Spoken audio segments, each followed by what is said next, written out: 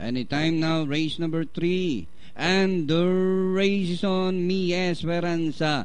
Moving up by the rear is Leonidas Might on the outside is Green Garnet. Moving up, Danori inside is Tarzan. Number four, Don't Fool Your Wife.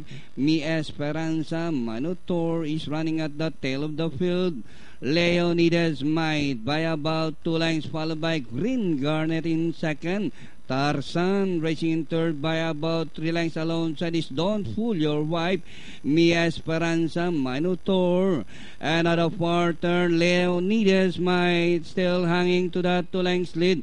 Then here comes Green Garnet in second.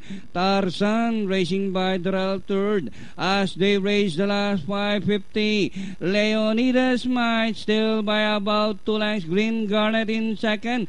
Tarzan moving up by Drell is Minotaur Mi Esperanza.